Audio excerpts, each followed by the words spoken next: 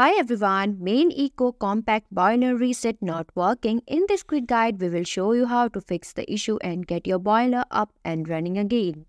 Fix 1. Check the power supply. Make sure the boiler is plugged in and the power switch is turned on. Inspect your home circuit breaker or fuse box to ensure that the boiler circuit hasn't tripped. If it has, reset it. Look for any visible damage to the power cord that may prevent electricity from reaching the boiler. Fix 2. Check boiler pressure. Check reading. The pressure should typically be between 1 and 1.5 bar when the system is cold. Repressurize if necessary. If the pressure is below 1 bar, you will need to add water to the system using the filling loop. Open the filling loop valves until you reach the desired pressure, then close them securely. Fix 3. Check the error codes.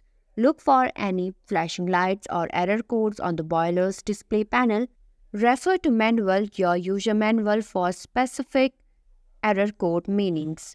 Address specific errors. For example, an E118 code indicates low water pressure while an E168 code suggests a general fault.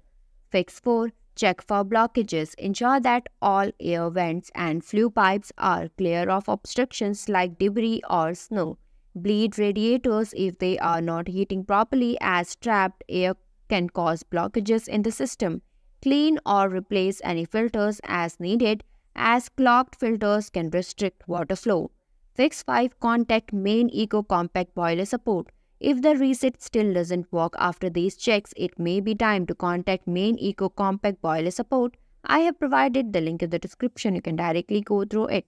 There could be a more serious underlying issue that requires professional diagnosis and repair.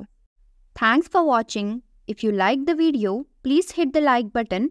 If you want to see more videos, hit the subscribe button.